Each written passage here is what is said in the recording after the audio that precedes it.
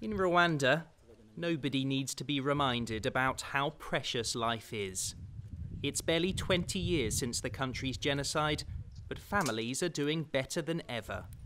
Children are now three times more likely to survive past the age of five, and more than 90% complete primary education.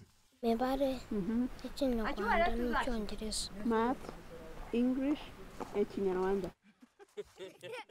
For this family, that's in part because they live in the Millennium Village. It's developed around the ideals of the Millennium Development Goals, and it has the funding to match. The father of this household used to rely on cows and crops for income. He now also runs a local mobile banking business. Before the millennium, our living conditions were very poor and undignified. But then we got trained in how to improve our lives and taught about income generation. I applied the lessons to my family. I know now that we have a better life. I can sustain my family's needs. I may even be a donor to help somebody else.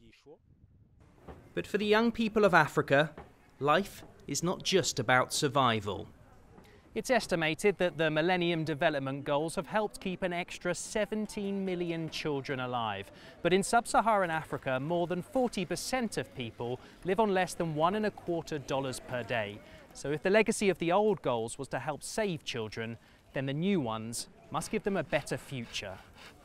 World leaders have now agreed to 17 new goals with a focus on sustainable development.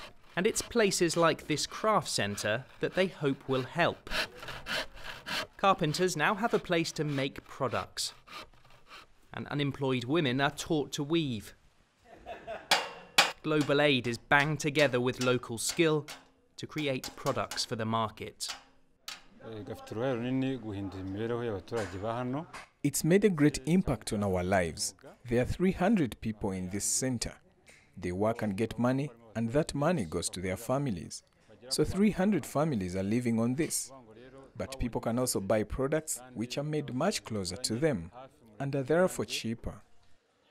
The new cassava plant around the corner shows how much the village of Mayange has changed. But Rwanda, like many African countries, failed to meet all the goals. The new ones are even more ambitious. They call for improvements to human rights and the rule of law, and more help for the world's poorest. Already in Mayange, people are part of that production line, turning poverty into business. But the real challenge is to make the story of this village become that of a continent.